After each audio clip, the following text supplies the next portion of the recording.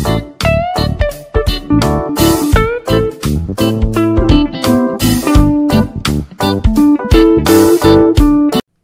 everyone, welcome to my home for maniacs and today's recipe చారు పొడి. So దానికి కావాల్సిన పదార్థాలు ఏమన్నా చూద్దామా? సో ఒక కప్ ధనియాలు మిరియాలు ఒక కప్ జీలకర్ర ఒక కప్పు ఉలవలు ఒక కప్పు. ఇది ఆప్షనల్ కావాలంటే మీరు తీసేయచ్చు. కందిపప్పు ఒక కప్పు. కరివేపాకు ఒక కప్పు. ఎండు మిరపకాయలు ఒక కప్ ఆన్ చేసి బాండీ పెట్టి ధనియాలు ఒక కప్పు. ధనియాలను వేయించుకున్నాం కదా. ప్లేట్లోకి తీసేసుకోవాలి. ధనియాలను వేయించుకున్న తర్వాత. కందిపప్పును వేసుకోవాలి. ఇది కూడా సిమ్లో పెట్టుకొని వేయించుకుంటూ ఉండాలి.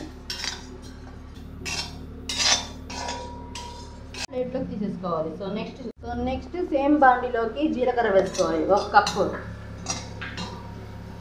అది కూడా సిమ్లో పెట్టుకొని వేయించుకోవాలి. ప్లేట్లోకి తీసేసుకోవాలి.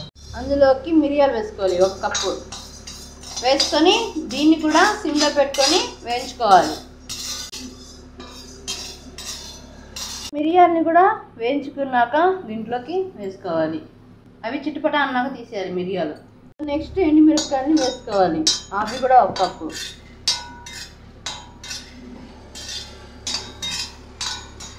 వేయించుకునేసాం కదా దాన్ని కూడా ప్లేట్లోకి తీసేసుకుందాం.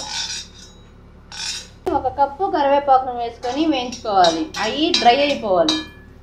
కరివేపాకు కూడా వేగిపోయింది దాన్ని కూడా ప్లేట్లోకి తీసేసుకుందాం.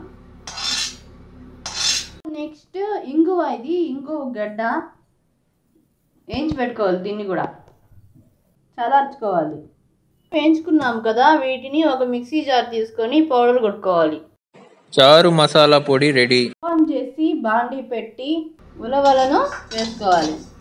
అది కూడా ఒక కప్పు సిమ్లో పెట్టుకొని వేయించుకోవాలి. వేగిపోయింది కదా దాన్ని కూడా ఒక ప్లేట్లోకి తీసుకుంటున్నాం.